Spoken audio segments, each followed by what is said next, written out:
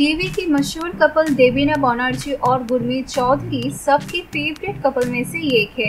इस कपल ने धारावाहिक रामायण से दर्शकों के दिलों में छाप छोड़ी थी। देवीना और गुरमीत शानदार कपल गोल देते हैं। लेकिन इस बार बंगाली ट्रेडिशन में सची देवीना और गुरमीत का वायरल फ़ोटो को लेकर ये कपल सुर्खियों में आ गए हैं। दोनों ही बंगाली पोशाक में दुल्हा दुल्हन बनकर बैठे हैं। ये तस्वीरें फैंस को हैरान कर रही है, वो सवाल कर रहे हैं कि क्या इस कपल ने दूसरी बार शादी रचाई है?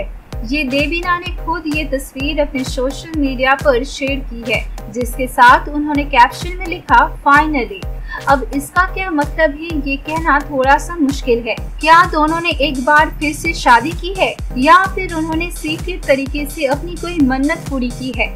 इस बारे में देवीना ने कुछ भी बात नहीं की है। आपको बता दें कि देवीना और गुरमीत ने 10 साल पहले एक मंदिर में शादी की थी, लेकिन देवीना को बंगाली रस्मों से शादी करने की ख्वाहिश थी। इन तस्वीरों को देखते हुए यही लग रहा है कि शायद इस जोड़े ने बंगाली रीति रिवाज से शादी की है और अपने सपने को पूरा किया है।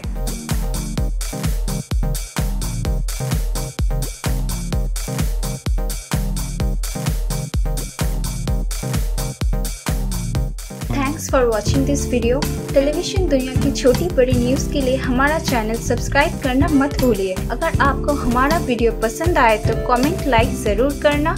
फिर मुलाकात होगी अगली वीडियो में।